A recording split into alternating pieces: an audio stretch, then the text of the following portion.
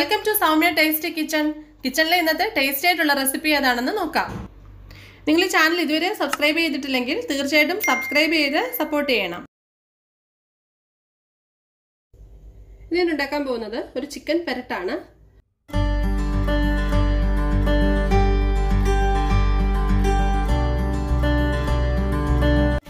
പെരട്ടിന് വേണ്ടിയിട്ട് ഒരു kilo fresh chicken ആണ് എടുത്തേക്കുന്നത്. നന്നായിട്ട് ക്ലീൻ ചെയ്ത് വാഷ് ചെയ്തെടുത്തതിന് ശേഷം അത് ചെറിയ പീസാക്കി കട്ട് ചെയ്തെടുത്തേക്കുന്നതാണിത്. അതിന് വേണ്ടുന്ന സാധനങ്ങൾ എന്തൊക്കെയാണെന്ന് നോക്കാം. അതിന് വേണ്ടിയിട്ട് ഞാനൊരു മീഡിയം സൈസിലുള്ള നാല് സവാള എടുത്തിട്ടുണ്ട്. വലുതാണെങ്കിൽ രണ്ടെണ്ണത്തിന്റെ ആവശ്യമേ ഉള്ളൂ.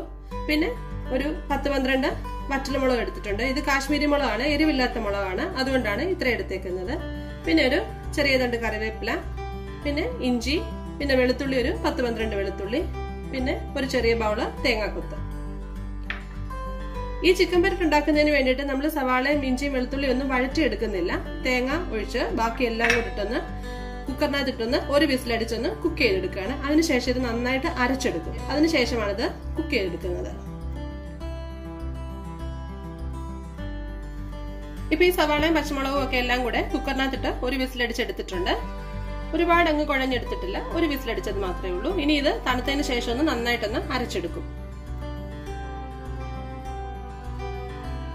ഇപ്പൊ ഈ ഉള്ളിയും മുളകും ഇഞ്ചിയും വെളുത്തുള്ളിയും കറിവേപ്പില ഇതെല്ലാം കൂടെ കൂട്ടിയുള്ള ആ കൂട്ടൊന്ന് നന്നായിട്ട് ഞാൻ അരച്ചെടുത്തിട്ടുണ്ട്. നല്ല ഫൈനായിട്ട് അരച്ചെടുത്തിട്ടുണ്ട്. ഇനി ചിക്കൻ പൊരട്ട എങ്ങനെയാ ഉണ്ടാക്കുന്നതെന്ന് നോക്കാം. അതിന് വേണ്ടിയിട്ട് ഒരു പാൻ അടുപ്പത്ത് വെച്ചിട്ടുണ്ട്. അതിലേക്ക് രണ്ട് ടേബിൾ സ്പൂൺ ഓയിൽ ഒഴിച്ചു കൊടുക്കുന്നുണ്ട്. ആ ഓയിൽ ഒന്ന് ചൂടായതിനു ശേഷം എടുത്തു വെച്ചിരിക്കുന്ന തേങ്ങാക്കൊത്തൊന്ന് ഇട്ട് കൊടുക്കാം ചെറുതായിട്ടൊന്ന് മൂപ്പിച്ചെടുക്കണം. ഒരുപാട് അങ്ങ് മൂക്കേണ്ട ആവശ്യമില്ല. അതിന്റെ പച്ചപ്പൊന്ന് മാറി കിട്ടി വെച്ചാൽ മാത്രം മതി. ഇപ്പൊ ഈ തേങ്ങാക്കൊത്തൊക്കെ ഒന്ന് ചെറുതായിട്ടൊന്ന് മൂത്ത് വന്നിട്ടുണ്ട്. ഇനി ഇതിലേക്ക് അരച്ചു വെച്ചിരിക്കുന്ന ആ ഉള്ളിയും മുളകും എല്ലാം കൊണ്ടുള്ള മിശ്രിതം ചേർത്ത് കൊടുക്കാം.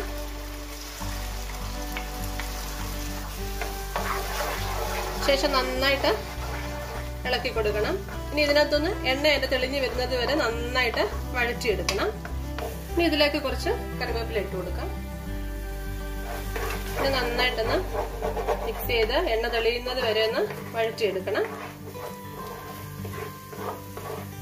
ഇപ്പൊ ഇത് ഞാൻ നന്നായിട്ട് വഴറ്റിയിട്ടുണ്ട്. അപ്പൊ ഇതിലെ എണ്ണയൊക്കെ തെളിഞ്ഞു വരാൻ തുടങ്ങിയിട്ടുണ്ട്. ഇനി ഇതിലേക്ക് കുറച്ച് പൊടികളൂടെ ചേർത്ത് കൊടുക്കാനുണ്ട്.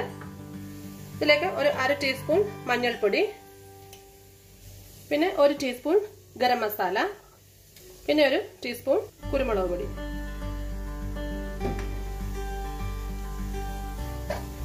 ഇത് ഇട്ടതിന് ശേഷം നന്നായിട്ട് ഇളക്കി കൊടുക്കണം. പൊടികളും ഇത്രയും മാത്രമേ ചേർക്കുന്നുള്ളൂ. വേറെ മുളക് പൊടിയുടെ ഒന്നും ആവശ്യമില്ല. കാരണം നമ്മൾ ഓൾറെഡി മുളകൊക്കെ ഇട്ടാണ് അരച്ചെടുത്തേക്കുന്നത്.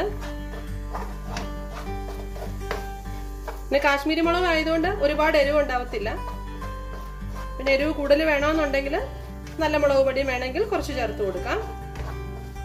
അപ്പൊ ഞാൻ സെപ്പറേറ്റ് മുളക് പൊടി ഇനി ചേർക്കുന്നില്ല. കാരണം അത്യാവശ്യം എരിവിന് വേണ്ടി കുരുമുളക് പൊടിയും കൂടി ഇട്ടിട്ടുണ്ട്. ഈ പൊടികളും എല്ലാം ഇട്ടതിന് ശേഷം നന്നായിട്ട് മിക്സ് ചെയ്തെടുക്കണം. അപ്പൊ എണ്ണയെല്ലാം നന്നായിട്ട് തെളിഞ്ഞു വന്നിട്ടുണ്ട്. അതുകൊണ്ടാണ് ഈ പാത്രത്തിൽ നിന്ന് ഇങ്ങനെ വിട്ട് വിട്ട് വരുന്നത്. ഇനി ഇതിലേക്ക് നമുക്ക് എടുത്തു വെച്ചിരിക്കുന്ന ചിക്കൻ ചേർത്ത് കൊടുക്കാം.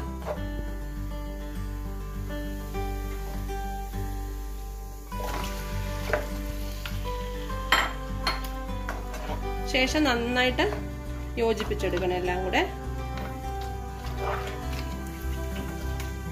ഇതിലേക്ക് ആവശ്യത്തിന് ഉപ്പൂടെ ചേർത്ത് കൊടുക്കണം.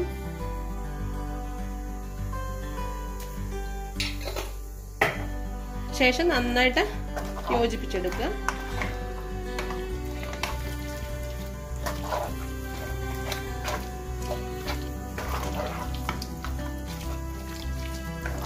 ഇനി സെപ്പറേറ്റ് വെള്ളം ഒന്നും ചേർക്കേണ്ട ആവശ്യമില്ല. ഈ ചിക്കനിൽ നിന്ന് തന്നെ വെള്ളം നന്നായിട്ട് ഇറങ്ങും.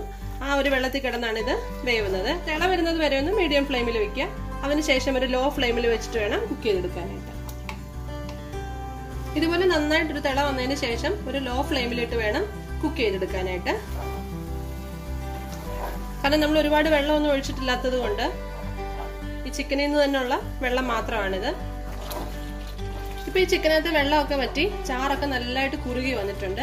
ഇനി ഇത് നന്നായിട്ടൊന്ന് വരട്ടി എടുക്കണം നല്ല ഡ്രൈ ആയിട്ടൊന്ന് വരട്ടി എടുക്കണം അതാണ് ഇതിന്റെ ഒരു പരുവ് എന്ന് പറയുന്നത്. ഒരു മീഡിയം ഫ്ലെയിമിലിട്ട് നമുക്കിതൊന്ന് വരട്ടിയെടുക്കാം.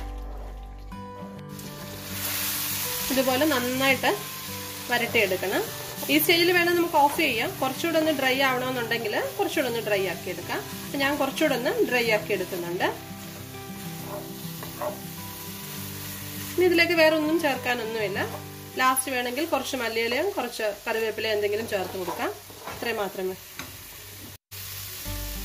അപ്പൊ ഇതിന്റെ ചാറെല്ലാം നന്നായിട്ട് കുറുകി നന്നായിട്ട് വരട്ടി എടുത്തിട്ടുണ്ട് ഞാൻ ഇനി ഇതിലേക്ക് ലേശം കറിവേപ്പിലയും കൂടെ ഒന്ന് ചേർത്ത് കൊടുക്കാം. ഒന്നുകൂടെ ഒന്ന് മിക്സ് ചെയ്തതിന് ശേഷം ഗ്യാസ് ഓഫ് ചെയ്യാം.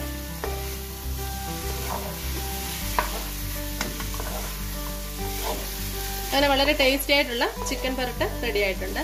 വളരെ എളുപ്പത്തിൽ തന്നെ നമുക്കിത് തയ്യാറാക്കി എടുക്കാൻ പറ്റും. കാരണം ഉള്ളിയൊന്നും വഴറ്റിയൊന്നും ഒരുപാട് സമയമൊന്നും കളയേണ്ട ആവശ്യമില്ല. ഇനി ഇതൊരു സെർവിങ് പ്ലേറ്റിലേക്ക് മാറ്റാം.